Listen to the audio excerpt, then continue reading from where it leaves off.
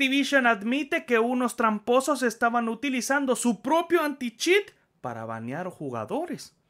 Vamos con la nota. Activision ha revelado que su sistema antitrampas Ricochet no es tan infalible como querían hacernos pensar. Recientemente, la compañía tuvo que deshabilitar un exploit que era usado para banear jugadores inocentes.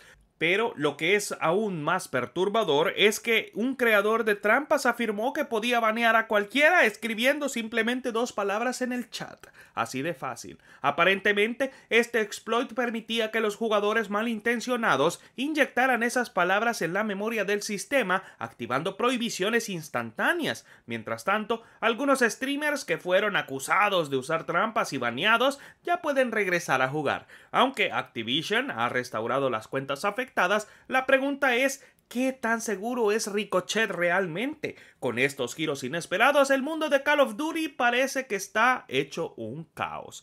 Cuéntame tú qué opinas, déjamelo saber en los comentarios.